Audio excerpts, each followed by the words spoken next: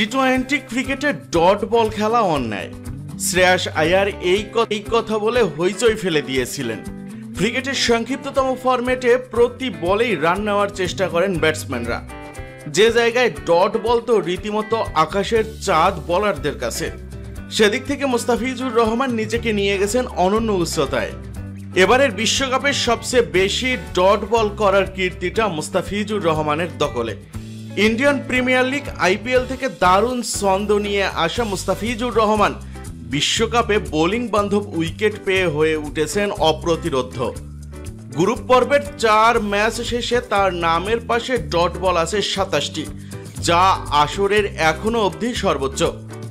চৌষট্টি dot ball নিয়ে তালিকার দ্বিতীয় স্থানে আছেন পাকিস্তানের মোহাম্মদ আমির, যিনি আবার দল বল নিয়ে বিদায় নিয়েছেন বিশ্বকাপ থেকে। দক্ষিণ আফ্রিকার ওটনিয়েল বার্টম্যান এবং অ্যান্ড্রিক নরকিয়া যথাক্রমে তেষট্টি এবং একষট্টিটি ডট বল নিয়ে আছেন তালিকার তৃতীয় এবং চতুর্থ স্থানে। একষট্টিটি ডট বল নিয়ে নরকিয়ার সাথে যৌথভাবে চতুর্থ স্থানে আছেন বাংলাদেশেরই তানজিম হাসান সাকিব। মুস্তাফিজুর রহমান এবং তানজিমের সামনে তাই বেশ ভালোভাবেই আছে আরও এগিয়ে যাওয়ার সুযোগ। শেষ পর্যন্ত বিশ্বকাপের এবারের আসরে সর্বোচ্চ ডট বলের রেকর্ড এই দুজনের কেউ গড়তে পারেন কিনা তার সময়ই বলে দিবে।